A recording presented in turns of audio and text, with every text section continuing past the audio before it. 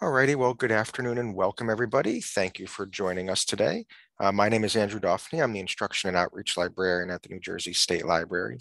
And it is my pleasure to present our speaker for today, Joel Mott from the New Jersey Pinelands Commission. Welcome, Joel. Hello, and uh, thank you very much for having me today. Um, Joel currently leads the Commission's efforts to raise awareness and understanding of the Pinelands. Uh, with experience in both environmental and historical interpretation his career has comprised a wide range of positions from park ranger to museum curator. In the past, he has held interpretive and forestry positions at several national parks, historic sites, and forests, including Beaverhead National Forest, Big Hole National Battlefield, Gettysburg National Military Park, and Eisenhower National Historic Site. So welcome, Joel. Again, thank you for, for speaking with our, our audience today. Uh, before we jump into the presentation, I just have a few housekeeping items to go over. Uh, we will be taking your questions at the end of the program today. Um, however, you can submit them at any time using the Q&A or the chat feature in the Zoom dashboard. Um, there is a survey that'll be available at the end of the program. So please, if you have time, we ask that you please complete the survey. We always love hearing your feedback. And if you want some more information about the Pinelands in general, or maybe activities, things going on down there, you can visit the Pinelands Commission's website at www.nj.gov slash pinelands. And I will send that out in the chat once we get underway so you can have a live link to click on. One last thing before we jump into the, the presentation, I just want to go over the Zoom dashboard. Um, this is what your dashboard should look like if you're using a PC or a Mac. Uh, if you're using a mobile device, your dashboard may look a little bit different depending on the device that you're using, but all the features will still be there. Um, first and foremost, your audio settings are located on the bottom left-hand corner. So if anything does happen, you can check your audio settings there. Maybe you're plugging in a microphone or a headset or something, um, and it doesn't connect, you can check all of your settings there. At any point during the program, if you have any issues, there is a raise hand button here. You can click on that. That'll send an alert to me and I will send you a message in Zoom and hopefully be able to resolve the problem that you're having. And as I mentioned before, if you have any questions, there is a Q&A or a chat feature. You can use either of them to submit your questions to us and we'll be happy to, to answer them for you. So that is everything that I have for you. So it's my pleasure to turn it over to Joel. All right, uh, thank you very much. I will uh, go ahead and start the screen share.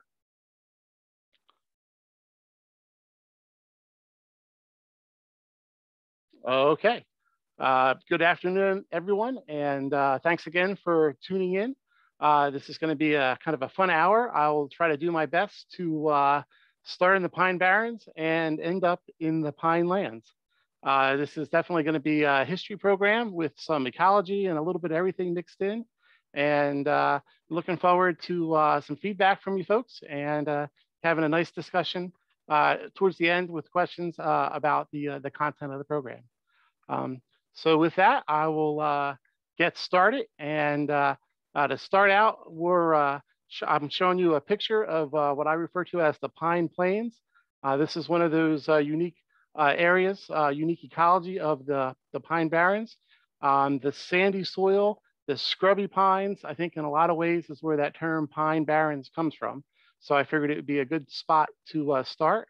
Uh, this particular location is um, between the Garden State Parkway and the little community of Warren Grove out in what's known as the lower or east plains.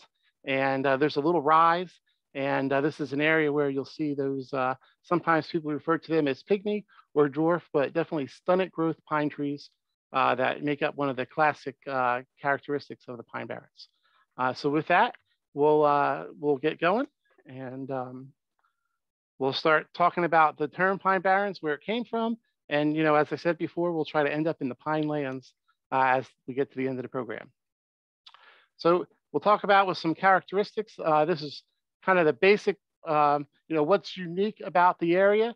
Uh, and real, uh, you know, quickly, I just want to say the water in the soil is very low in pH, um, very low in uh, nutrients. Uh, generally, a good pineland stream or pineland soil, a characteristic uh, area would have a pH of 3.5 to 5.5. So that's definitely well below uh, seven, which is more typical of other places. And really what that does is it affects the plants and the animals uh, that survive here, and they all are pretty much adapted to those, uh, you know, very acidic conditions. Um, sandy soil, we're going to see a lot of sand today, and sand's going to be a pretty important um, player in the history of the, the Pine Barrens. And um, these sandy soils, we know in some places can absorb well over six inches of rain per hour. Uh, and there's even some soil tests that there's sands in the pine lands that could probably actually absorb almost 20 inches per hour, which is just an astronomical amount of water for uh, you know soil or sand to be able to uh, take in. Um, fire is another important aspect of the pine lands. Um, things like the pitch pine, which is the most numerous tree in the area, all are very um, capable of handling fire. And, uh, you know, fire has been an important part of uh, the area and the plants uh, and even the animals to some degree that we find living here are all uh, able to tolerate uh, fire and they're also able to tolerate the drought conditions that are present when that water goes into the ground so quickly. Uh, an old saying we always say is it could rain in the morning and there could be a forest fire in the afternoon. And that's certainly been the case many times in the area. some of the water in the Pinelands, uh, generally refer to it as um, cedar water. It's kind of the color of tea, and it has a lot to do with the vegetation breaking down, the iron that's in the soil interacting with oxygen, and kind of produces a rust. And uh, that rust in the water is really where you get that cedar color or cedar water from. And uh, you know, the water table is pretty important. You know, we protect the pine lands to protect water. And uh, certainly um, this time of year in particular is when that water table comes closest to the surface. And that'll be another, you know, kind of character uh, in the background of this uh, presentation today. So there are basic Pinelands characteristics. And let's dive right into the history. So uh, prior to uh, European settlement, um, the Lenape uh, pretty much are gonna be the native people living in the area. Uh, we know from some of our archeological work that we start to find um, artifacts and things that go back to about 10,000 BC. I think that's roughly 12,000 years ago. And that's when we're first gonna start to see uh, people living within uh, the area that is now known as um, the Pine Lands or the Pine Barrens. Uh, the Lenape, uh, I guess the term for Lenape would be original people. Uh, that's generally how they would refer to themselves. Uh, they're part of the Anakwan Nation um, that lived in this area. their area probably existed a little bit bigger than the Pine Barrens. So the lands that um, they once lived in uh, are going to stretch out through New Jersey, Eastern New York, um, Western Long Island, in the Eastern Pennsylvania, and even in Northern Delaware. Uh, Lenapehoking, I don't know if I pronounced that right, is kind of the term for that area in land of the Lenape.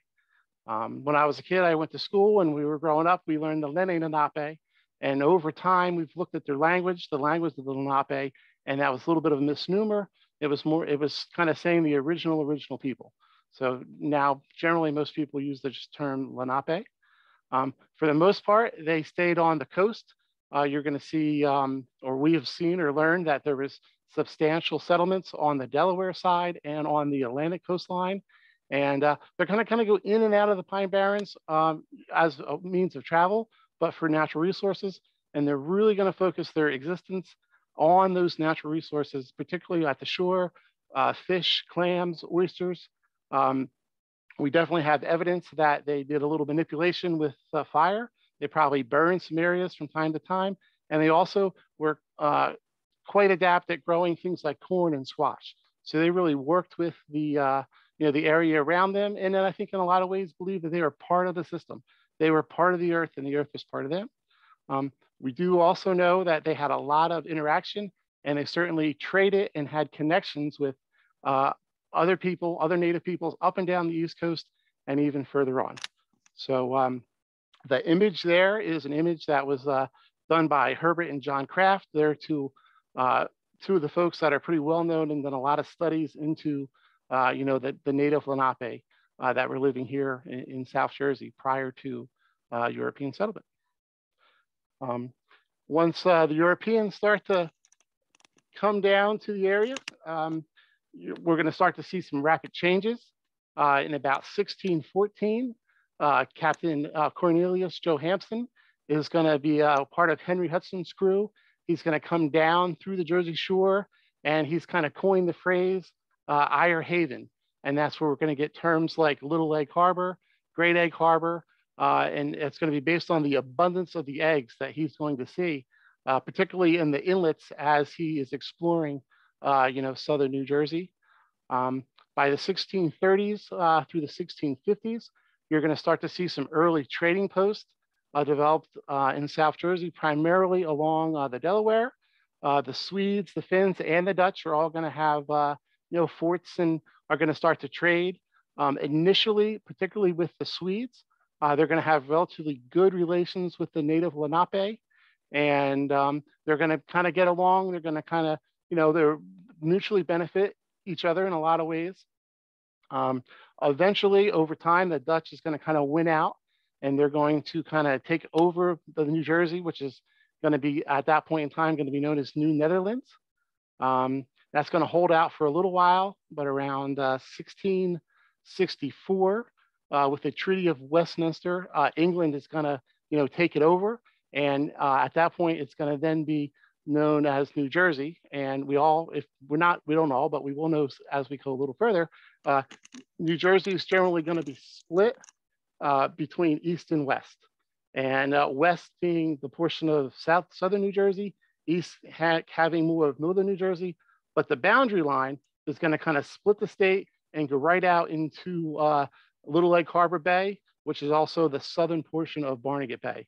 And that's uh, where that line is going to split. Um, in 1673, uh, West New Jersey is uh, primarily going to be uh, sold to Quaker interest. And that's really going to start to uh, move some more migration. And we're going to start to see over the next few years, uh, you know, Quaker folks, but also people associated with the whaling industry are going to move kind of from southern uh, New England down through Long Island. Eventually, they're going to come across into what's Monmouth County today. Um, they're going to send some folks down into uh, Cape May, also over on the Delaware side in Burlington.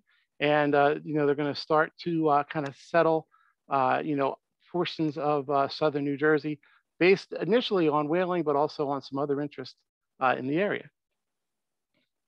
Uh, this is a, an old map. This is a, a map that's kind of um, zoned in. This is a mail route map from uh, 1729. And uh, like I said before, you can start to see that population come across, start to settle in Monmouth County, come over here in Burlington County.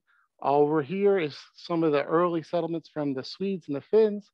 And uh, if you look at the center, there's not so much on. You see woodland over here, but you do start to see the inlets down here is Little Egg and Great, uh, Great Egg.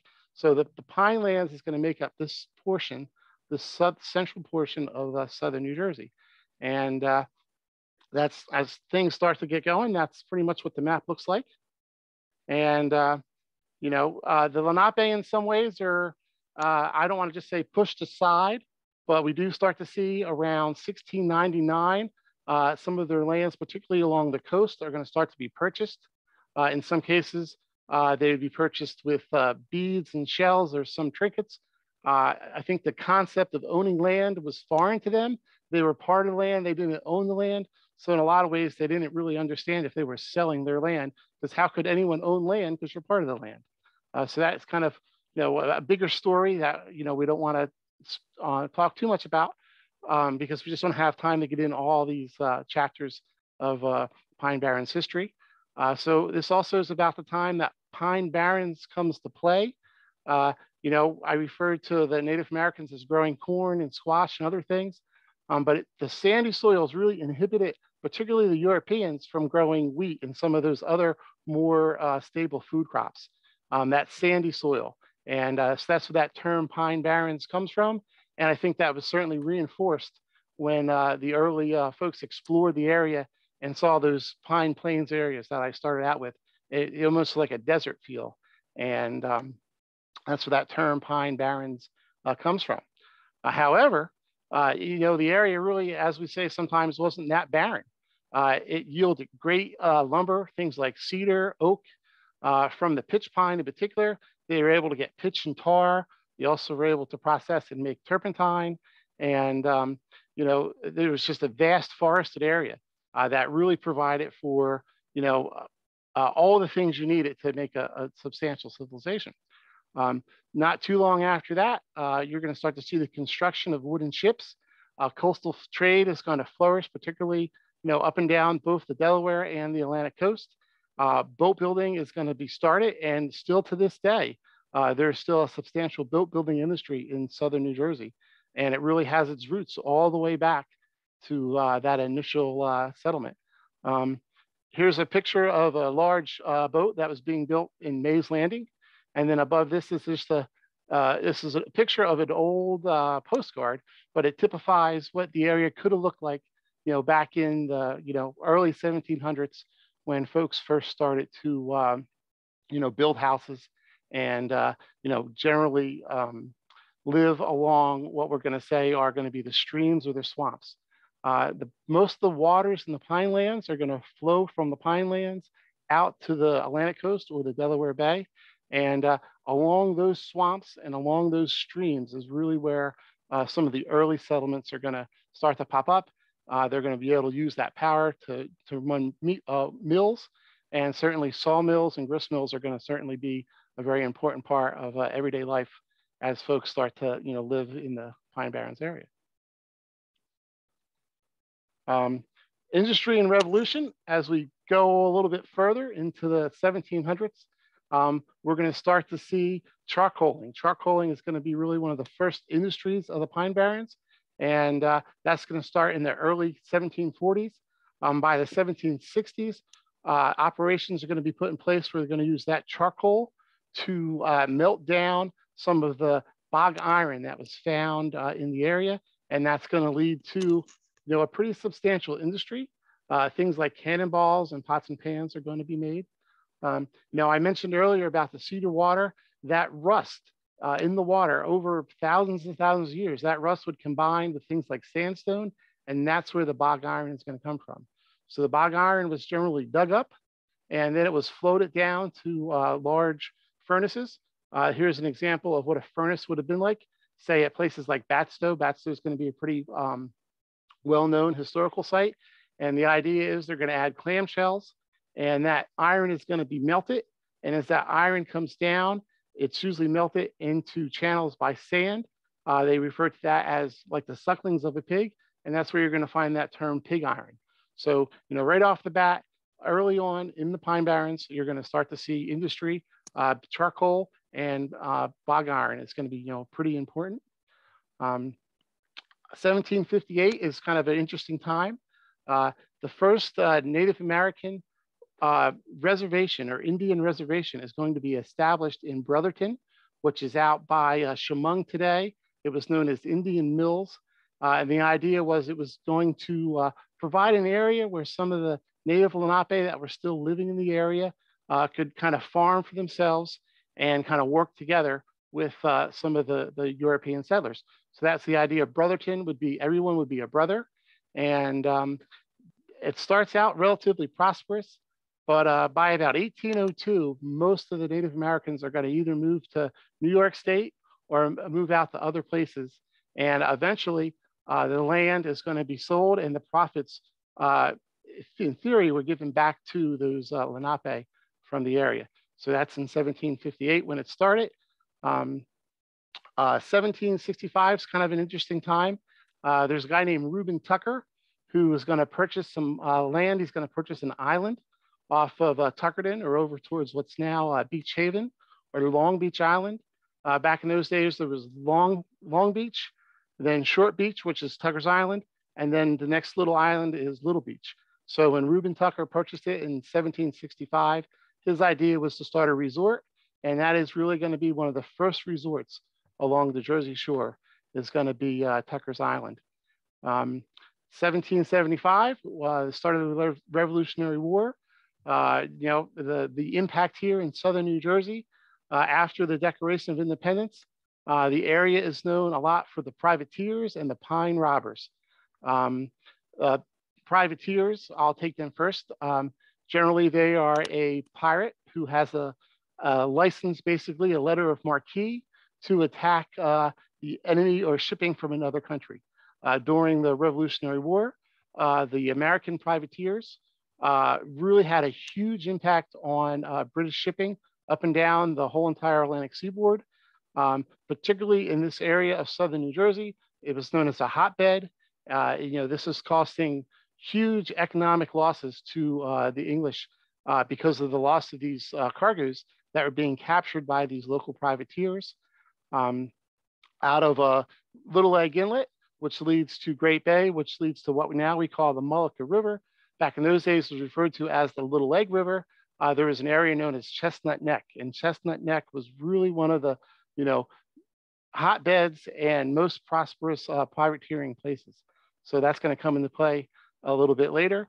Uh, we know by about 1878, uh, there's going to be about 30 armed sloops that are all operating out of the, uh, the Egg Harbor area.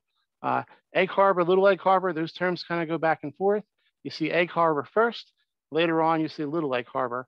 Uh, it's confusing today because there's a Little Egg Harbor Township. There's also an Egg Harbor Township. There's an Egg Harbor City, uh, but it all goes back, uh, we said back before, to um, Captain Cornelius when uh, he discovered the area in the early 1600s. Um, the pine robbers, uh, most of the pine robbers are generally known as uh, Tories. Um, there's two pretty good examples. There's more, of course, but the two that usually stick out are a guy named Joe Mulliner. Uh, Joe Mulliner uh, was kind of known as the Robin Hood of the Pine Barrens. He also was known for his dancing abilities. He loved to go to the local taverns, supposedly, and uh, you know, dance with the ladies. Um, but he also was known to give back. He has a much better reputation than another outlaw, a guy by the name of John Bacon. John Bacon uh, is generally referred to as the notorious Tory outlaw. Uh, he had captured uh, some colonial American privateers. He had, there's been massacres. Uh, he had a few engagements, one on Long Beach Island by Barnegat Light. There was another episode in uh, Stafford Township uh, where there was some, some folks were, were killed in a, in a small skirmish. So he really has a bad reputation. in the end, both Mulliner and um, John Bacon were both put to death and uh, well, as we, you know, we'll go a little bit further, one of the last engagements of the Revolutionary War could have been a small skirmish at a little tavern uh, in what's Barnegat today, but known as Cedarbridge Tavern, that involved uh, John Bacon. Um, this is kind of a great picture here. This is a, a, more of a modern day photo, but it really explains the charcoal making process. Uh, this is a guy named George Cummel. He was one of the last charcoal makers. And literally this is how they would make charcoal you would have a stack of uh, pitch pine and you would have dirt and moss and all kinds of things to kind of cover up uh, and, and, regulate with the air. And over a period of a few days to a week or so, uh, you would regulate the fire and you would smolder down that pile of what was logs eventually to chunks of charcoal. And uh, you know, charcoal was the fuel for the for the uh, bog iron industry, but it's also going to be very important and it's going to be exported uh, to places like New York and Philadelphia, and it's going to be how many people heat their homes, particularly their stoves. It's, it's better for cooking if you're going to use a stove. So that's a real important um, aspect of uh, things going on in Pine Barrens. Here's a cannonball. Uh, just, just, I was fortunate to grow up in the area, and when I was a kid in Tuckerton, I uh, stumbled through an area which was known as Mott's Field, and I actually tripped over this cannonball, and I still have it today. It's just a solid six pound shot. Uh, and that's typical of you know some of the products they would have been making uh, at say a place like Batsto. This is a kind of a cool map. This is a 1776 map. And uh, what it really starts to show is, uh, you know, as the area develops, you still have a lot of people on the coast and a lot of people on the coast, but not a lot of folks in the center. And they still refer to the area as sandy barren desert. So it's kind of interesting. Um, you start to see some roads at this point. So there's going to be some connections, people going through the through the pine lands or the pine barrens at the time. And, um, you know, we talked about East and West New Jersey. So here's that split. If you can see my mouse right there. And then you have West Jersey and East Jersey. Um, talk about watersheds. That's also more of a modern term for today, but the watersheds back then are still the same watersheds today. So uh, Going west, you have the Rancocas watershed, which goes over towards the Delaware. Uh, over on the northern part of Barnegat Bay, you have the Toms River watershed, which goes in the Barnegat Bay or the Barnegat Bay watershed. Uh, places like Cedar Creek, Oyster Creek, uh, Forked River all flow into Barnegat Bay. A little bit further south, you have the Mullica River, which is going to flow into Great Bay. Uh, we refer to it as the Mullica today. Back in 1776, it was still referred to as the Little Egg River. A little further south, uh, you have the Great Egg Harbor River, which flows generally into the south into the Atlantic. The Tuckahoe River is part of that system, and that flows down today, present day, what's kind of like Somers Point and Ocean City. And then on the far kind of western side flowing south, you have the Maurice River, which flows down into the Delaware Bay. So they're the, you know, the five watersheds of the, the area, which are still the same five watersheds today. Um, uh, specifically, uh, this is going to be interesting. Uh, a nest of rebel pirates refers to the area, the area around Chestnut Neck and Little Egg Harbor. Um, in 1778, uh, the British had a full campaign. I think they took about 14 ships. They traveled from New York City down to the area, and their uh, priorities or their goal was to stop um, the privateering out of Chestnut Neck, but also to head up the river, up the Little Egg, which is now the Mullica, to Batsto to curtail the iron making activities that were going on there. Um, they're going to come into the area in October of 1776, or excuse me, 1778. They're going to run into some problems right away. They're going to realize, and I happen to do a lot of fishing on my spare time. And if you're ever in the area of Little Egg Inlet or Great Bay or the southern portion of Barnegat Bay, there's a lot of sandbars. And uh, right away, they're going to have trouble navigating and they're not really going to be able to bring a lot of their big ships in. And it's really going to foul up the whole operation. Uh, on October 6th, they are able to get some forces up to the area uh, around Chestnut Neck, and there's going to be kind of a battle there. Uh, the locals are going to kind of uh, hold the area. Uh, the town is burned. A couple of the ships are burned, um, but the the local resistance or the local uh, Minutemen, as you would say, were able to slow down and put enough of a fear into the British that they felt they couldn't go any further west up the Mullica towards Batsto. Uh, so they're kind of hampered. They do, you know, temporarily kind of stop the privateering at Chestnut Neck, but it doesn't uh, take too long. And they're right back up in speed once uh, the British leave. About a week later, uh, the British are still in the area and they're kind of frustrated. And on October 15th of 1778, uh, uh, they're going to send a detachment of roughly 200 soldiers um, to the southern portion of what's now Mystic Islands a place called Osborn Island. Uh, they're going to come ashore and they're going to head up. There's a road there now known as Radio Road, um, but Radio Road wasn't Radio Road back then. And as they're crossing some of the, the creeks on their way to the town um, towards what's Tuckerton the Little Egg Harbor, they're going to um, take uh, some of the planks off one of the big creeks. There's a creek called actually called Big Creek. They're going to remove the planks from the creek and they're going to head up uh, their force is commanded by a guy named uh, Patrick Ferguson, and um, he's going to run into the pickets of uh, Casimir Pulaski. Pulaski was in Trenton not too long before this, and uh, George Washington had gave Pulaski orders to go to this area of Egg Harbor and to protect it from this campaign of the British. Um, they're going to get there. Uh, Ferguson's men are going to run into Pulaski's pickets. There's going to be a skirmish. Um, from everything we can tell, we think that about 30 to 50 soldiers were massacred in that skirmish and were buried later on uh, in that area, which is now known as Mystic Islands, that portion of Little Egg Harbor.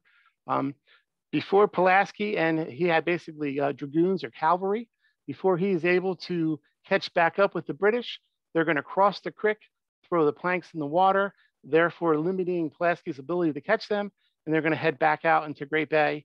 Uh, and after a few more days, once they finally um, realize they can't escape with the big ships, they're going to scuttle some of their bigger ships and they're, they're going to head back to New York in, in, many, in many ways, which is probably a failed campaign. Um, they, they didn't have the effect, the Brit British is uh, certainly that they were looking for. One of the best sources uh, about this whole story is uh, a book that was written by a guy named Franklin Kemp and it was published by the Batsto Citizens Committee, and uh, it's still available to, today for purchase. uh, at the bookstore out at Batsto. And um, Franklin Kemp passed away a couple years ago, but it's just an absolutely fantastic book that goes into incredible detail of uh, that campaign and the, the battles that occurred, uh, you know, in Chestnut Neck and Little Egg Harbor uh, in 1778.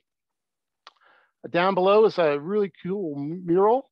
This mural was uh, painted by John Wanamaker of Philadelphia, and it was um, uh, by uh, Fred and Ethel Noyes. If you're familiar with the area, um, in Smithville, which is in Atlantic County, part of Galloway Township, there's Smithville Village, and this mural uh, was painted, and uh, to this day, I still believe is in the restaurant, which is called Fred and Ethel's, down there in that little uh, area of Smithville.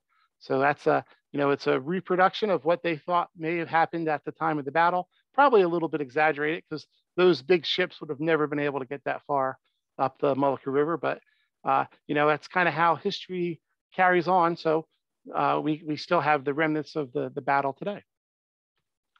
Um, after the Revolutionary War, things, uh, you know, start to develop into the 1800s. And um, it's really kind of a bountiful harvest. You know, initially we talked about whaling. A lot of the first uh, people to come down the coast were associated with whaling. Um, by the 1800s, uh, the, the whaling kind of ceased to exist right off the shore. I mean, literally they were able to launch boats from the beach and go out and, uh, and get some of the whales. The, by 1800, that wasn't happening so much.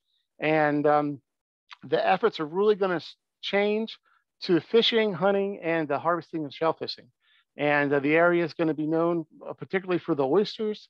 Um, ducks are gonna be sold by the barrel to places like New York and Philadelphia. Um, eventually there's gonna be pound fishing right off the beach. And uh, that is, is really gonna kind of set the stage going forward. Uh, again, based on a lot of those natural resources that are within the area. Um, in 1816, we know that there is a, a, Isaac Jenkins starts a stage, which is gonna go from um, Philadelphia, Camden, all the way down to Tuckerton. Um, we do know even prior to that, maybe even back into the 18, uh, the 1770s, there was stages just not running on a, a really everyday basis. Uh, Jenkins stage is gonna run once a week. It's gonna be two days down and two days back. So it's basically a two-day trip from say Philadelphia or Camden down to the Jersey Shore uh, in Tuckerton. Uh, again, and this is another time I'll mention charcoal. This is really the heyday of the charcoal era when they were really consuming lots and lots of wood, uh, primarily pine uh, that was made in the charcoal. And like I said before, that's primarily going to New York and Philadelphia and every place in between, because that's what people used for their stoves. Uh, got some old postcards here. This is seed oysters being collected in Tuckerton. Uh, here's a, a, duck hunting. Uh, we'll talk a little bit maybe about the Barnegat Bay Sneak Box towards the end of the program. We talk about some of the history and the culture the heritage. Uh, and then here's an image from some of the pound fishermen uh, that were uh, came down to the Jersey Shore. One of the neat stories about the Pine Barrens is there's lots of different immigrant communities that come to the Pine Barrens for different reasons. Uh, one of them is going to be a lot of fishing or fishermen from Nor Norway are going to make their way to the Jersey Shore, particularly for the pound fishing. But we'll talk about that as we go on. Um, one of the legends of the Pine Lands, the Pine Barrens for sure, is Dr. James Still. Uh, Dr. Still was known as the Black Doctor of the Pines. Uh, he was born in 1812. Uh, his family had uh, his both his mom and his dad were slaves at one point in time. Uh, they had come to New Jersey and they had settled in what is known as Indian Mills, and it's the same place where the Brotherton Reservation was, today known as Shamong. Um, Dr. Still, uh, in his younger years, was a laborer. He worked, you know, spent a lot of time doing a lot of odd jobs. Uh, over time, he was able to uh, educate himself. He was able to go and learn about some of the different uh, plants and herbal things that you could find in the area. And uh, later in his life is going to be a very successful, uh, you know, medical doctor to some regards. there certainly was probably some prejudice that he faced, but uh, he was known as you know a great healer in a lot of ways. Um, his family was pretty important and pretty prominent. I think uh, his parents may have had upwards of 14 or 18 children, and one of his younger brothers was a guy by the name of William Still, who was one of the very uh, important and most active agents of the Underground Railroad. Um, one of the one of the things that we're going to see over time is a lot of the African Americans uh, are going to come into Southern New Jersey uh, through the Underground Railroad. And over time, you're going to start to see smaller little populations of Afri African American groups in Southern New Jersey, uh, particularly as Atlantic City really starts to take off. There's the Atlantic City at one point in time, probably around 1900, is going to probably have the largest portion of African American people uh, in all of New Jersey, not just uh, the Pine Barrens area. Uh, in 1882, uh, James passed away and he was buried near Mount Laurel, uh, uh, which is just on the, you know, the western edge of the, the Pine Barrens. Um, cranberry culture. cranberries are a native pinelands plant that we see um, every day. If you're out and about, say along the Wading River, if you go canoeing and kayaking, you're gonna see these cranberries in the 1830s to the 1840s. Uh, the idea was that they could start to cultivate cranberries, and it's when they start to create cranberry bogs. Um, initially, cranberries are going to be grown, but they're going to be harvested by hand. Uh, up here in the corner is a uh, cranberry rake, and uh, you're going to use the rake to scoop through uh, the berry bushes. Uh, they really weren't a bush, it was more of a vine. And uh, you could then separate the berries from the vine. And uh, it's going to be the beginning of uh, the cranberry industry, which is going to have a huge economic impact here in the, the Pine Barrens. Um, today, most of the cranberries that are harvested are harvested in a wet harvest. Uh, towards the late 1800s, early 1900s, uh, folks are going to start to realize that you could remove the berries from the vines and what's going to happen is the good berries are going to float to the top. So modern day, most of the cranberries are harvested in what's called a wet harvest, where they remove the berries from the vine, they float to the top, and they are collected. Um, back in the old days, when they were still hand picking the cranberries, um, most of the um, packing facilities had a series of shelves and a conveyor belt, and the berries would be kind of put up the conveyor belt. Once they'd hit the shelf, the berries would drop and uh, all the good berries would have to bounce over. And they would have a series of these shells or shelves, and the good berries that would keep bouncing would be the berries that they would keep, and the ones that did not bounce would be the ones that they were weren't good, and they would get rid of them. But over time, that whole system was really replaced with the uh, the wet harvest. Um, shifting sands. I said sand was going to be a important uh, player. Uh, absolutely. Um, uh, the picture right here is an example of an early uh, Pine Barrens glass. This is a, a perfume bottle that was made um, in uh, Atlantic, which is uh, the Atlantic Glass Works, which is probably over what we refer to as Green Bank today. It was Crowley Town, was named for a prominent glassmaker, a guy by the name of Samuel Crowley. Um, Samuel Crowley was good friends with a guy named John Mason, in about 1858, John Mason is going to get a patent for the mason jar. Uh, I'll talk about that a little bit later, but I kind of got ahead of myself. Um, from about the 1820s to the 1890s is really where the glass industry is going to have its heyday. Uh, you know, talk about some of the, the immigrants that come to the area. Uh, the glassmaking skills are definitely going to be brought to the area by some uh, of the uh, German immigrants that come to Southern New Jersey. Uh, so that's where you're going to start to see that influence of glass. And that down the bottom of this picture, you can see some of that white sugar sand. And that white sugar sand uh, typically would have an uh, aqua color glass. And that's uh, clearly present here in the, that Crowley Town perfume bottle. Um, railroads are kind of interesting. So as bog iron kind of wanes, a lot of that money is Philadelphia money that was invested in the bog iron. Um, you know, the bog iron eventually is going to move, say to northern uh, eastern Pennsylvania, but that money is going to stay. And some of that money is going to go into railroads. So in 1854, you're going to see a railroad from Camden to Atlantic City. Uh, a little bit later, there's going to be another trunk line that's going to go from Whiting down to Tuckerton. So again, that's going to be like another chapter. That's going to be the idea with tourism and people now moving to the Jersey Shore through the Pine Barrens. Um, 1854, uh, Egg Harbor City is going to be founded as a farming or agricultural uh, community uh, by German Americans who were living in the Philadelphia area. So it's another one of those immigrant um, enclaves in, in the Pine Barrens. 1858, uh, again, that's uh, when John Mason gets his patent for uh, his mason, glass, his mason jar.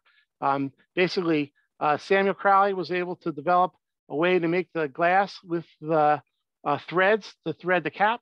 And then John Mason was able to make the caps and uh, was able to get the patent for it in November 30th of 1880. Um, so you could say in a lot of ways the mason jars were uh, developed here in the Pine Barrens. Um, the American Civil War, I would say 1880 to 1860 rather to 1865. Um, New Jersey is kind of interesting. New Jersey was definitely a northern uh, state. Um, there are definitely a lot of the Quakers uh, that were living in the area prior to. Uh, there was a, certainly a strong abolitionist movement, uh, particularly in southern New Jersey. And I said before with that, the Still family, uh, and prior to that, you know, a lot of African Americans, freed slaves or escaped slaves had come to southern New Jersey. Um, northern New Jersey is a little interesting. Northern New Jersey has a large um, textile uh, production, so they made a lot of clothes and products in North Jersey based on the cotton industry. So northern New Jersey had a fair amount of um, sympathies for the South in a lot of ways. And I think we're during the Civil War, the majority of soldiers that fought for New Jersey are going to be from the southern portion of the state. Uh, when uh, you know when Abraham Lincoln runs for his second term, uh, General McClellan, who was at one time one of his generals, runs for president. He's from northern New Jersey. He's a he was a Democratic candidate for the you know I think the election of 1864. But that just shows some of that sentiment uh, in the northern part of the state or the, the sympathy for, for the South. Um, also around that same time period, around the Civil War, is really when we see the end of the bog iron industry. Um, they're gonna find coal and they're gonna find better iron in uh, up, up by Scranton, up in northeastern Pennsylvania. And so, and also one of the factors that kind of kills the bog iron is early on, they could dig bog iron up and then float it to the furnaces very easily. Once they exhausted those sources of iron, they then had to put it on wagons and truck it, and it just was getting too expensive. So ultimately, that's why the bog iron industry is going to kind of leave uh, the, the, the, Pine Barrens area. Um, we mentioned the railroad down the Tuckerton um, in 1872. Uh, 1876, uh, Joseph Wharton, again, Philadelphia money, uh, Joseph Wharton is going to uh, purchase a large piece of land, you know, a lot of the Mullica River watershed, a lot of the land around Batsto. And uh, Batsto, as I said before, was a pretty substantial um, bog iron industry. Uh, prior to Wharton, they had kind of switched over to making glass. Uh, making glass was profitable, but it was also, um, they used a lot of fire. And Batsto had burned a couple times due to uh, accidents with the glassmaking industry. But Wharton's idea was we could get, he could gather rather, all of those natural resources, all that water. Where was he coming from? Philadelphia. The water situation in Philadelphia wasn't very good. And he really wanted to buy that area so he could then take that water and he could sell it or he could bring it over to Philadelphia. Um, in 1878, the New Jersey legislature is going to block those efforts. They're going to pass legislation basically prohibiting the export of New Jersey water out of the state. And that's really going to curtail um, uh, Wharton's plan. Um, I'll show you a map of his uh, aqueduct system in a little bit. And then uh, in 1882, uh, the Alliance Colony is founded in, uh, this is a successful Jewish agricultural um, community that is set up down near Vineland. There's a number of others as well. Later on, there's a, a place in Atlantic County um, down by Buena Vista called Mizpah, and that's going to be another uh, a Jewish community uh, settled within the, the, the, area of the, the Pine Barrens. Uh, so here's Wharton's map. Um, you know, it's amazing to think about today, but this is really what his plan was to dam up an aqueduct and take the water from the, the Mullica River watershed, basically, and instead of going east to the Atlantic, he's going to send it west over to Philadelphia. And that was uh, really his plan. Uh, you can see a copy of this map down at the uh, visitor center uh, for Batsto Village for or Wharton State Forest. Um, next chapter around the turn of the century, 1900 that is, uh, blueberries and reforestation. Um, because of the bog iron, because of the boat building, um, all those products, uh, there's you know stories that you could uh, climb up the, the fire towers in the area and you couldn't see any trees. Uh, the area had been denuded of many of the trees because you know people were using the wood for their houses, for heat, uh, for building boats, for charcoal. So in 1905, uh, the state of New Jersey is going to start Bass River State Forest, the first state forest, as basically a tree plantation to start replanting trees to reforest the area. Um, in a lot of cases, they're going to they're going to plant white pine because white pine wasn't native to the pine lands, but it was a much more valuable wood they thought than say the, the native pitch pine. So you're going to start to have uh, these state forests to regrow the forest of the pine lands or the pine barrens uh, around 1905. Now, areas that were still forested because of the conditions, there was still the problem of the forest fires. So very shortly after the establishment of the state forest, the State Forest Fire Service established in 1906. And uh, they're going to be start to be very um, inventive and creative. And over many years, they're going to be probably one of the leading um, state agencies as far as all the states, as far as the ability to maintain and to uh, you know prevent forest fires uh, in the area. 1910, uh, Penn State Forest is established. Uh, Penn State Forest is um, kind of out where we would say Lake Oswego is today, out kind of between Chatsworth and Route 72. Um, 1916 is a pretty important time for uh, some other Pinelands native plants. Um, Elizabeth White uh, lived in the area. Uh, the New Jersey Pinelands Commission office is actually at her childhood home. We're at a place called Fenwick Manor, which was uh, where her grandfather uh, uh, lived in uh, near New Lisbon or Pemberton, New Jersey. His family had developed some of the original cranberry bogs, and uh, Elizabeth was working with the idea of cultivating the blueberry. There's a lot of wild native blueberries that grow throughout the pine barrens. There's low bush, there's high bush, um, there's some smaller huckleberries. And the idea was to try to find a berry that was big and was sweet. And uh, her efforts, uh, particularly, she worked with a guy named Dr. Coville, who was part of um, the US Department of Agriculture. Uh, Elizabeth would send some of the local folks out into the area. They'd come back with the different berry varieties. And um, by 1916, they were able to come up with a hybrid uh, blueberry based on the high bush blueberry. Uh, and they were able to bring it the first harvest of this cultivated berry. And still to this day, that is in many ways the basis of the blueberry industry, which is you know one of the, the largest economic forces in southern New Jersey. So cranberries and blueberries, both native pinelands plants, still to this day are very important parts of uh, you know the, the economics of uh, our area. Um, uh, bring in World War One just a little bit. Um, Belcoville was established as a munitions plant down near Mays Landing.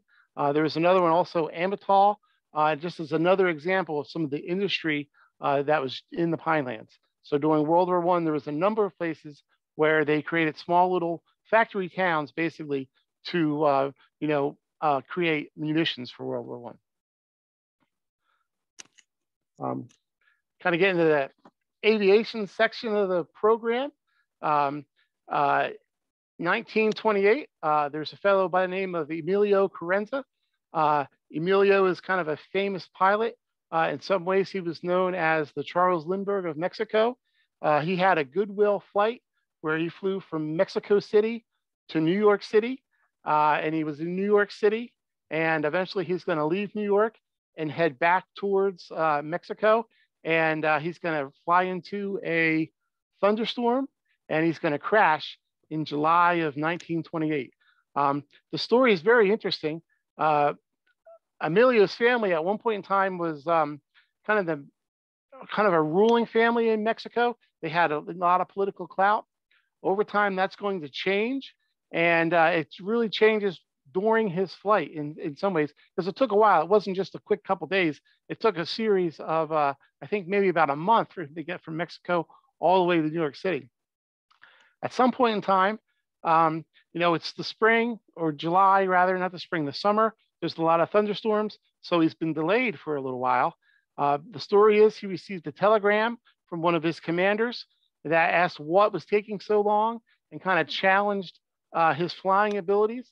And uh, he got the telegram, left dinner, got in his plane, took off, and flew right into that thunderstorm uh, where he crashed and unfortunately died uh, in 1928.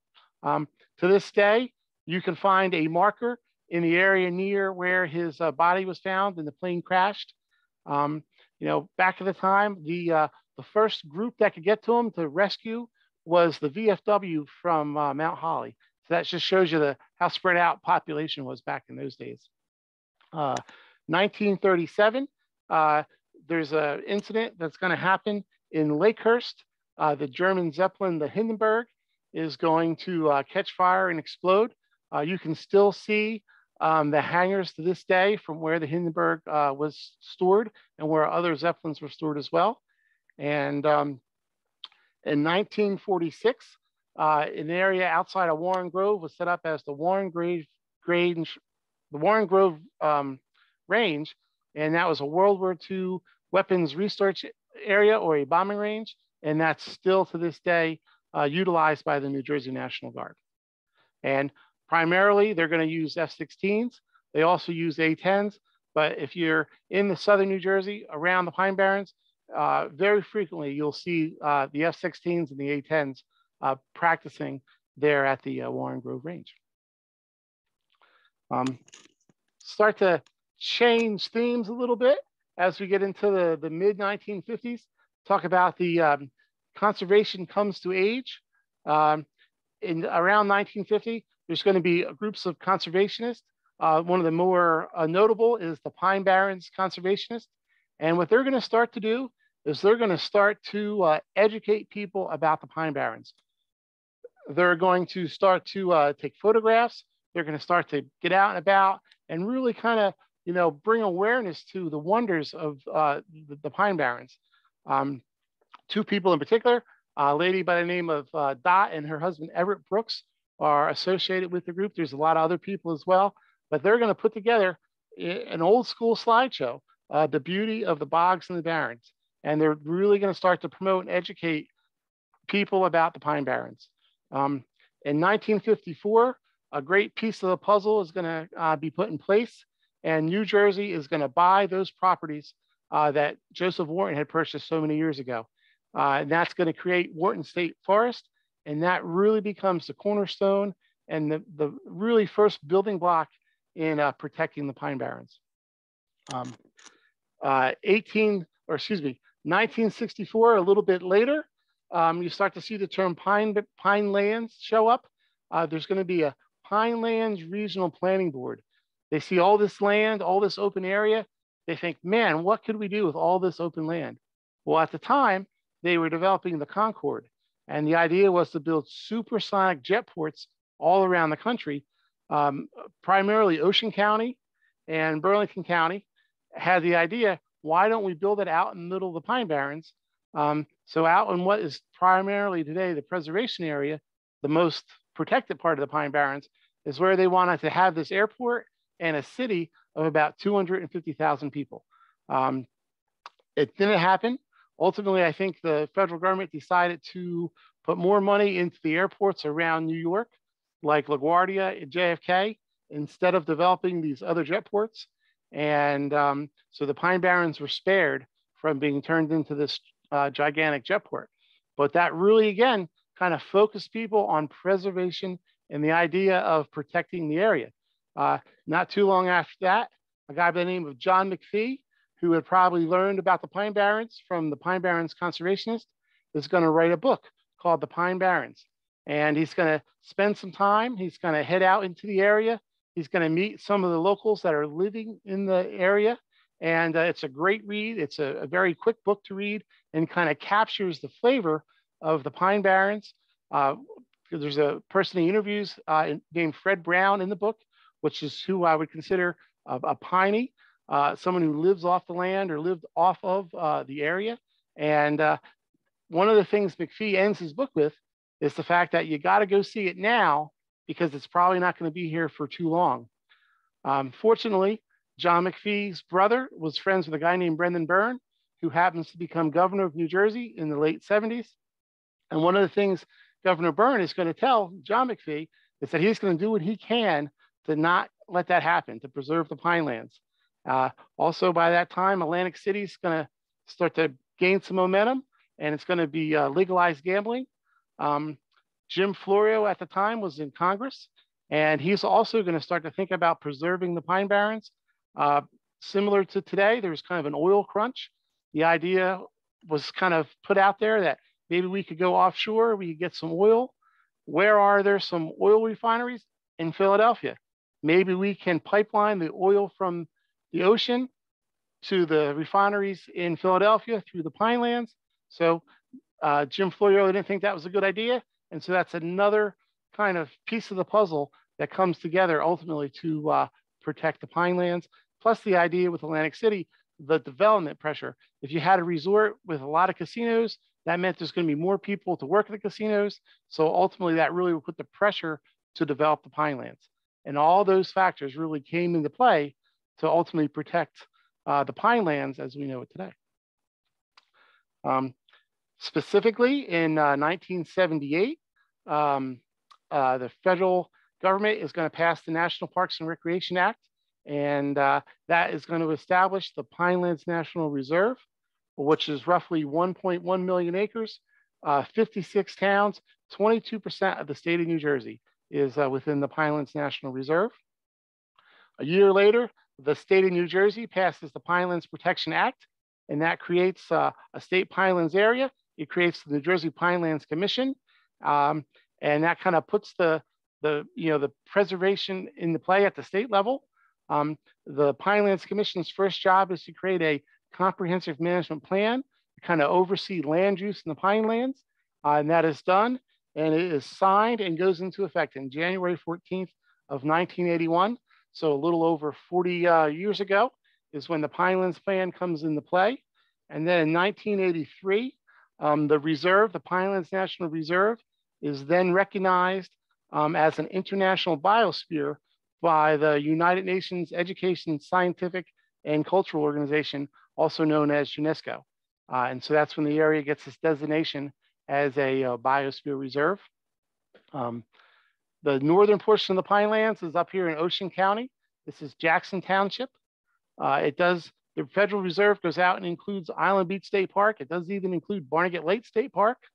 Uh, comes down and includes today what's a lot of the Forsythe Refuge, uh, portions of Ocean County, Atlantic County, um, there's a kind of an area down here, you know, uh, political process, legislation is always political.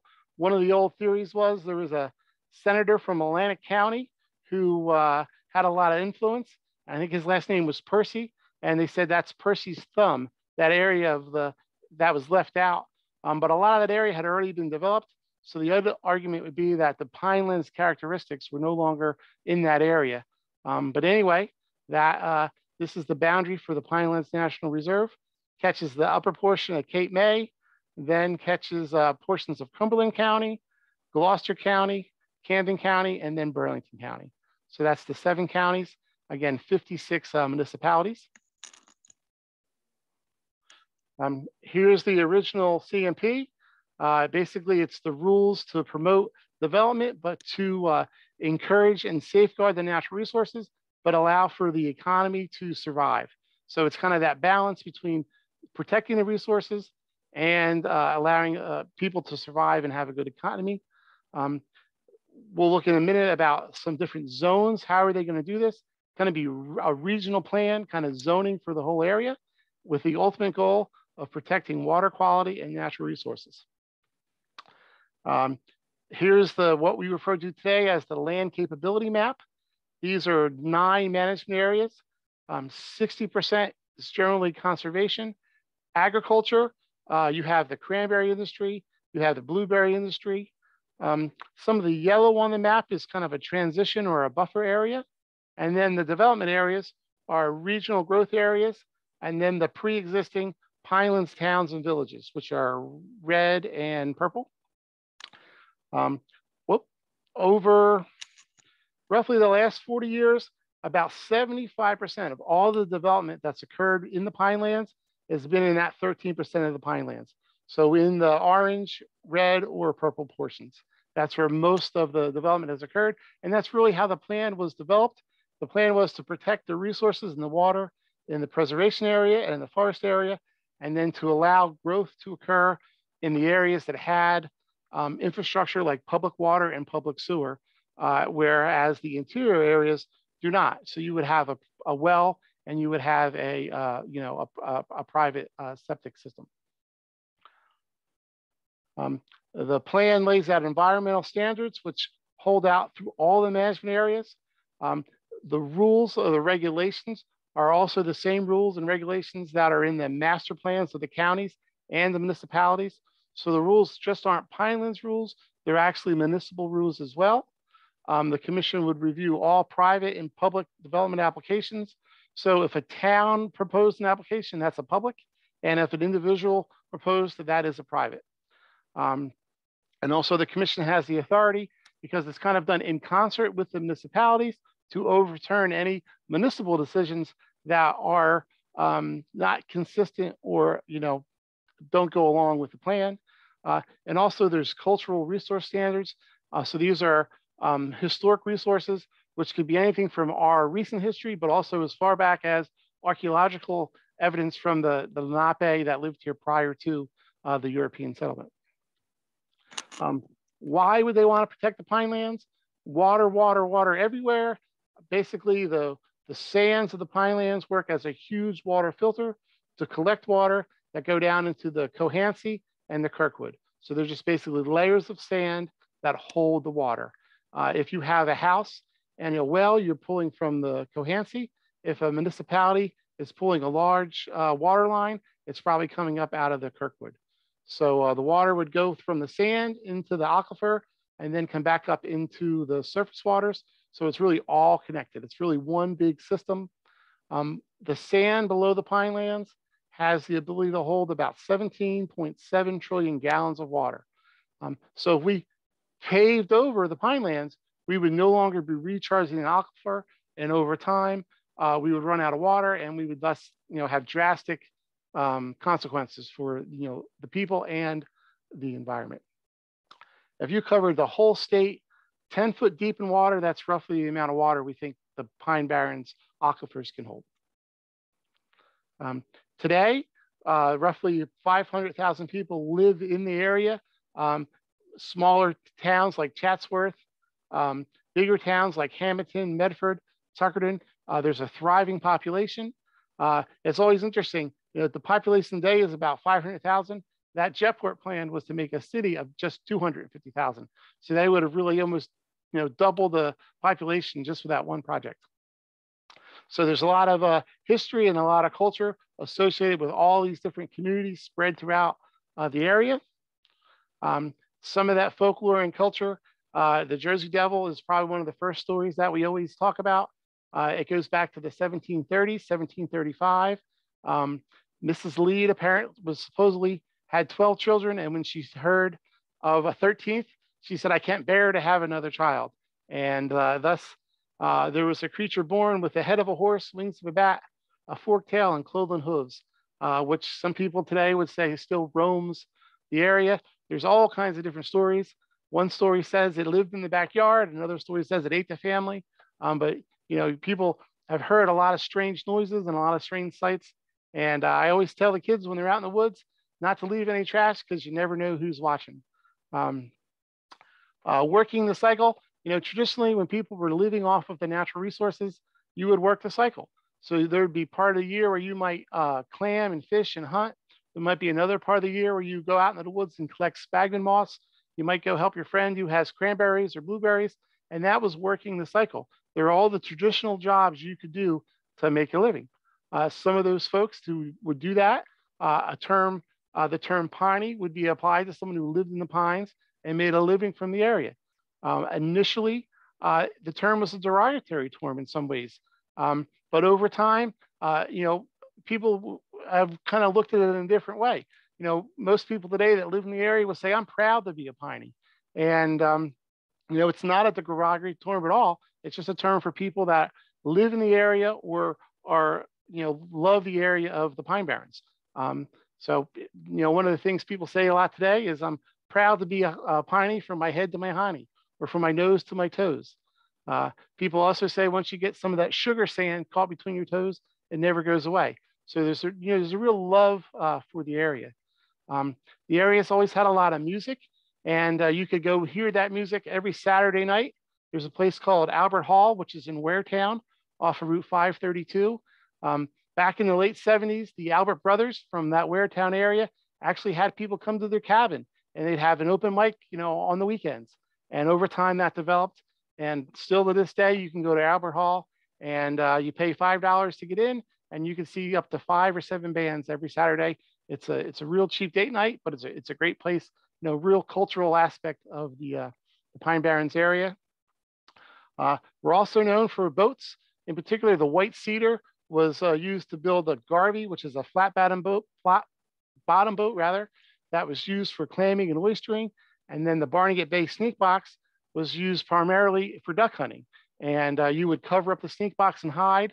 You would build Barnegat Bay decoys, which would then float in the water, made out of white cedar as well, to try to entice the ducks to come in. One of the things we talked about before was market duck hunting. You know, people made a living by hunting the waterfowl of the area. Um, I showed you some of the well-known towns, and there's a lot of lost or, or you know ghost towns. Places like this is the remnants of Harrisville, which is a paper factory, but there's little towns all over the Pine Barrens area that once had people in industry, but over time those industries kind of moved away. Eventually the people moved away, and now nothing is really left except the ruins and the roads.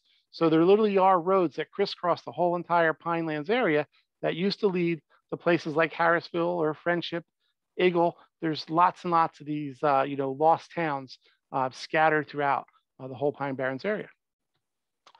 Um, today, modern day, we have agriculture. Uh, here's the, uh, the blueberries around Hamilton. I think more or less New Jersey is around number four today as far as producer of uh, cranberries and blueberries. We were a little bit higher, but places like Massachusetts, Wisconsin, Michigan all have a lot more acreage. So they're growing more berries than we are, even though I think New Jersey berries per acre, both in cranberries and blueberries, is the highest yield. Um, here's the wet harvest. Uh, as I said before, they shake the berries, they come to the top and they are collected. Generally, the berries in New Jersey are primarily part of the Ocean Spray Collective, which is a group of farmers that bring their crop to market together. And most of it is made in the juice and or cranberry sauce because the wet harvest is very rough on the berries. So it um, kind of beats them up. So generally they're made in the products. If you're buying berries, um, you know, whole berries, generally they're still picked by hand. Um, but the ones in the juice and the sauce are all done through this wet process. Um, today, people look at the Pinelands for recreation. I kind of like to say it's wilderness in your backyard. Uh, it's a great place for camping, birding, biking, hiking, canoeing, uh, just exploring. Uh, still to this day, there's a lot of fishing, a lot of hunting. Uh, there's a lot of motorcycle. Uh, you can drive around the, the roads in the Pinelands. There's a lot less traffic. So on the weekends, you certainly see some motorcycles out there. Uh, you know, people come to birding. The Forsythe Refuge is here. The Cape May Wildlife Refuge is here. There's lots and lots of opportunities for all that and much more. Roughly um, over a million people a year come to the Pinelands just to visit the area, go to the state parks and forests. Um, we have a, uh, 50 mile hiking trail called the Batona Trail, which starts in um, Brendan Byrne's State Forest and travels through Wharton State Forest and eventually ends in Bass River State Forest. You can spend, you know, three, four days just hiking the Batona Trail uh, in the Pinelands. Um, here's a native pickerel. That's one of the fish that you could catch if you were fishing in the Pine Barrens area. And then of course, there's lots and lots of kayaking, canoeing on the um, Mullica River, the Batsto River. There's Cedar Creek up by Toms River, um, Oyster Creek, uh, down south, the Great Egg, Tuckahoe, over in the Rancocas, there's lots and lots of places to go canoeing and kayaking in the Pine Barrens. Uh, here's a quick list of our state forest areas. Um, Allaire is just to the north, but it's a very good example of a bog iron uh, processing facility. So it's very similar to what you would have seen at Batsto. And then of course, Bass River, Brendan T. Byrne, which was known as Lebanon State Forest at one time. Um, Belleplain is down towards Cape May. Uh, Double Trouble is over by Toms River. Uh, the Forest Resource Education Center, that's near Jackson. That's a great place to learn about forestry. Also, the state nurseries there. Um, Island Beach State Park, as I said, is considered in the Pine Barrens or Pine Lands. And then Penn State Forest, which is managed um, primarily through Wharton and Bass River. And then, of course, Wharton State Forest, where you would find Batsto Village. That's the Batsto Mansion uh, right there. Um, getting towards the end here, I think I'm a little bit over time. Um, roughly 80% uh, of the forested areas of the area are within the pinelands. Um, this is a typical pine forest, which is the majority of the, the habitat. Um, you're gonna have pine to oak. Places where there's more fire, you have more pine. Where there's less fire, you're gonna start to see more oak come in. Um, that's gonna be in the uplands. Our most transitional areas are what we would say is a pitch pine lowland. So that's kind of a link between the uplands and the wetlands, where you see both upland and wetland plants. And then in the wetlands, there's a uh, hardwood swamps, uh, where you're gonna find a lot of the cherries and maples. And then of course, Atlantic white cedar swamps, where you're gonna find the white cedar. I, you know, we talked about a couple times what an important resource the white cedar was. Uh, our wetlands make up 35% of the area. That's where a lot of our threatened endangered animals and plants are. Um, very low nutrients. This is the soil. Uh, the biggest difference between the wetlands and the uplands is the soils. Wetland soils are considered muckier and they have a lot more organic material and they tend to drain slower. So in the uplands, they drain fast. In the wetlands, they drain slow. Because of that, you have different plants, plants that need water or need more of a wet environment are going to be your wetland plants. Uh, this is a savanna. Savannas are a really cool uh, wetland area. Um, there's not as many trees in the savannas, so they allow a lot more sunlight. And that's where we're going to find a lot of the, the flowers and orchids that occur in the Pine Barrens. Um, here's the Pine Plains. That's back where we started. So this is that picture of the, the Pine Plains area. Um, there's not a lot of natural lakes in the area, but we have thousands of these intermittent ponds. So this is say June, and if you come back in August, it's gonna dry up. And uh, because of those intermittent ponds, we have a huge variety of play, um, frogs, toads, and salamanders. If those ponds had water year round, there would be fish in the ponds. Therefore, we would not have the populations and the diversity of uh, the, the frogs and toads and salamanders. Uh, here's the Pine Barrens tree frog. Um, today is a threatened species. Uh, back when the plan started, it was an endangered species. So over those 40 years, uh, we've preserved a lot of its habitat. So its um, population numbers have increased, so it's in better shape. Uh, there's about 500 other animals that occur here, and again, 43 that are also threatened and endangered. Um, our, of our local uh, reptiles and um, amphibians things like the corn snake, the pine snake. This is a tiger salamander. We have one venomous snake in the area, and that's the timber rattlesnake. Here are some of our native fishes. Uh, the ones with the stars are only found in the Pine Barrens, like the black banded, the banded sunfish, uh, the pirate perch. Um, here are the pickerel. You can find them both in and out. And then also we have American eels, which begin life in the saltwater, but then come up here into the freshwater. Um, plants. Uh, the pine lands is known as a botanical treasure. There's about 850 that occur here, 92 that are considered threatened and endangered or protected, and there's 27 wild orchids. Uh, this plant right here is uh, the swamp pink lily, which is a plant that generally we say likes its feet wet. So it's a plant you'd find in those wetlands. This happens to be in a cedar swamp. Here's our uh, pitch pine. Uh, the bark of the pine really protects it from forest fire. And then it's got some cones that are serotinous that only open with fire, and then other cones that open from the sunlight. Um, And what happens is the forest fire burns, it pops all the cones. So the first tree to grow is going to be the pitch pine. That's why in areas with fire, the pitch pine is the most dominant. The next most dominant tree is the blackjack oak. It's got a real shiny leaf. Here's a good example. Uh, so they're the two most numerous trees in the pine lands, the pitch pine and the blackjack oak. We'll get into some of the uh, plants real quick. Here's the pink lady slipper, which is an upland plant, and then the pine barrens gentian, which you would consider a wetland plant. Uh, you actually see it on the side of roads because there's usually a ditch with water.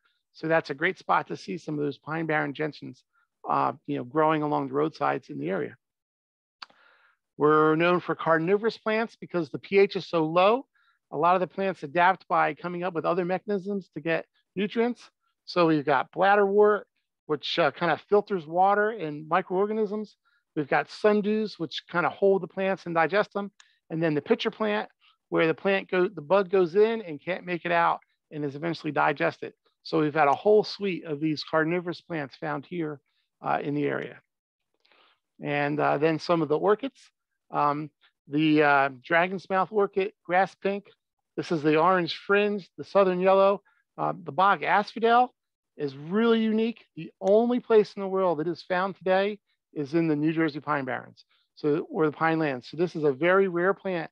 The only ones that we know of are here, no place else in the world. Um, to kind of wrap things up, I just want to talk about, uh, you know, if you're out enjoying the area, enjoying the history, enjoying the ecology, uh, you know, responsible recreation, uh, we don't want to leave anything behind, you know, leave no trace. If you're driving through the Pine Barrens on those dirt roads, stay on the roads. Don't drive in the bogs. Don't drive in the meadows. You know, stay on the roads. It's very important. Um, and also drive legal licensed vehicle. Uh, a four wheeler or a two stroke dirt bike is not legal to drive in the state forest. So if you do, you can certainly get in a lot of trouble and it can be confiscated. Uh, there's a lot of hunting and fishing, but if you're going to hunt and you're going to fish, please know the regulations because, like I said before, you never know who's watching. Um, the, there's conservation officers, there's park police, there's you know lots of people out there. So, like I said, try to be responsible if you're going to um, you know, go out and enjoy the, the, the pine lands.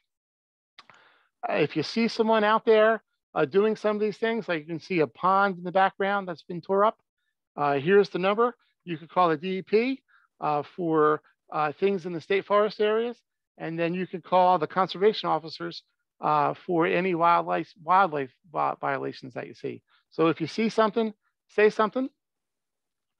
And with that, I will wrap up. I think I went a little bit too long, but uh, thanks for bearing with me, and I'll be glad to help answer uh, any questions that you must have. Great, thank you so much, Joel. That was a lot of information, but uh, wow. it was great to great to hear all of it. So um, yes, if anybody does have questions, please feel free to submit them using the the chat function or the Q and A function, and we'll be happy to to answer them for you. Um, you touched on this a little bit, uh, before about the uh, the bog iron, but somebody asked, was all of the bog iron depleted from the pine barrens? Uh, no, definitely not. Um, you know, uh, and it's naturally occurring. So over time, more would occur. Uh, but what really was happening, it just was getting too expensive and too much labor to uh, get the bog iron to the furnaces. There was both furnaces and forges, uh, you know, to stamp out uh, the products, to flatten out the products. But that's what happened. Ultimately, it just became too expensive to bring the iron to the places uh, to process it. Uh, do you know if Stockton has finished their study of the Revolutionary warships the British sank in the Mullica? Uh, I have read a couple very interesting articles. I know they've done, uh, and there's been a couple other studies as well over time where divers have gone in and they've been able to salvage some of those uh, ships that were scuttled uh, in that Chestnut Neck area, uh, but I don't know if the if Stockton study is done or, or not at this time. How are the deer managed in the pine lands? Uh, the deer are managed um, through the uh, you know the division of uh, wildlife, uh, fish and wildlife. Um, the deer population is kind of an interesting story. About uh, say 20 years ago, we really first started to see coyotes show up in uh, the area. And um, not too long after that, we could definitely see a distinct drop in the deer population, particularly west of the parkway in the forested areas. And I think what happened is once the coyotes came into the area, the, uh, the deer weren't really able to cope with the coyotes. And so thus that population started to crash. Uh, over time, we saw kind of a um, movement of the deer population. So the deer kind of moved into more of the residential areas, maybe east of the parkway, where the coyotes weren't as bold. And then um, we're able to kind of flourish in those residential areas. But now, say 20 years, 30 years from the initial uh, appearance of the coyotes, we've seen where the deer populations have kind of come back in both places. So now the deer population in the forested areas and the residential areas are, are both probably pretty high. Um, so that's what I'd say about that. Uh, we had a, a, few people ask about if this was being recorded. Yes, it is being recorded, um, and a link will be sent to everybody uh, probably either this afternoon or tomorrow. So just be on the lookout for that in your email. Um, is this the same type of bog that the Irish peat comes from? I, I think it's a little bit different. It's a, it's similar in some ways, uh, and there are some reports of when they would take the the bog iron out of the ground, it was kind of soft and they needed to really let it dry out over time before they would start to process it. But I do think there is some differences uh, in the, the, the chemical breakdown of the two. Um, what made you choose to to join the Pinelands Commission? Uh, that's a that's a good question. Uh, I don't know. I, I was fortunate to grow up in the area, and I always had a, you know, a, a wanting to know more about the history. Uh, you know, I, I was very familiar with the forest and all the roads, and I noticed all the roads kind of had a name. I really wanted to know where they went or, you know, what was that all about? And it, it turns out that all those roads did actually go somewhere. And so that was really one of the initial things as a kid that I really was interested in to find out, you know, where's this road to Shamong? What does this mean? And, and that's really got me kind of exploring the area and kind of set me on the path to uh, ultimately get a degree in history and then someday come back and work for the Pinelands Commission. Is anyone preserving the music of the Pinelands? Are there any traditional piney musicians left? Oh, absolutely. Uh, there's an organization called the Pinelands Cultural Society, and they uh, that's who runs and operates Albert Hall. And uh, they've they've got CDs. Uh, they've got a, a, lot of musicians. And uh, like I said, every Saturday night, if you want to uh, get a real good glimpse of the the culture and the music of the area, you want to go to to Waretown. Uh, it's right off of uh, Route 532, not too far off of Route 9. And Albert Hall is right next to the uh, Ocean Township Elementary School in the little community of uh, Waretown. Right. Uh, approximately how old are the pitch pines in the preserved area? Um, I'm in the Chatsworth's area and the pines don't appear too old. Were they forested or burned? Uh, there, there's, there's been a continual amount of fire over time. Uh, some of those trees could be a lot older than you think just because they don't tend to grow in the pine plains in particular. They don't tend to grow so high, but they put a lot more effort into their roots. Um, so in some cases, they could be 50 years old. In some cases, they might even be 100 years old. It just depends on the amount of fire or if they were, you know, cleared uh, at a certain pertinent time. Just because a tree is short doesn't mean it's not that old.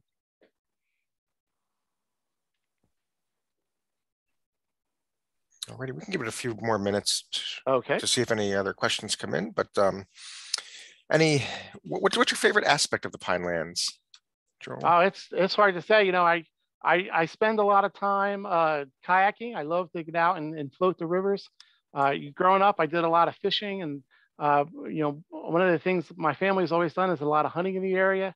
So uh, you know, I just really spent like to spend a lot of time out in the outdoors, and uh, it's great to you know, be in an area where you could kind of get away from everybody and just slide out into the woods. And the, the pine barrens or pine lands are great for, for that ability. Um, you always kind of still hear the parkway or you see an airplane fly by, but it, it gives you that sense. You know, that's kind of where that idea of wilderness in your backyard. Uh, it's it's not that too far away uh, if you live here in South Jersey. All right. Well, I'd just like to extend my thanks and this thanks from the audience to you, Joel, for a fantastic presentation. Um, it was really, really informative, enlightening, um, and a real sense of Jersey pride. So we thank you for that. All right. Well, uh, yeah, I, you know, I'm born and raised here, and I love to talk about it. So uh, thank you for the opportunity, and uh, uh, thanks a lot. So just like to close with everybody be safe, be well, and if you have a chance, go explore the Pinelands. See you out there.